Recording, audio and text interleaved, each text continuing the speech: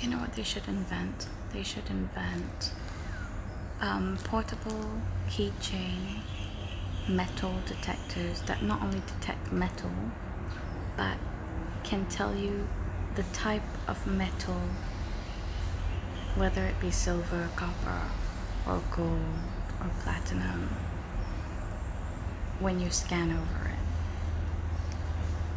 And the reason I say this is because um, not so long ago, but not recently as well, I went to get this um, bangle that I got from Bali tested.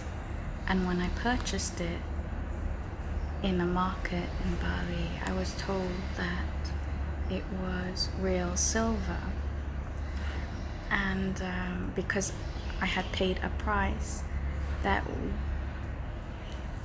well, that wasn't wasn't so low for it to be not silver and wasn't so high for it to be silver if you get my catch my drift.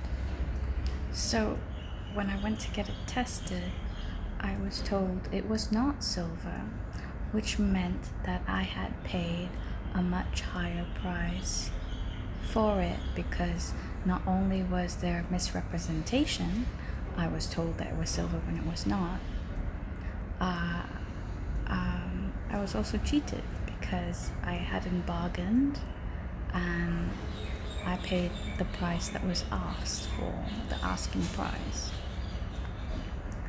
So that really, really effed me off.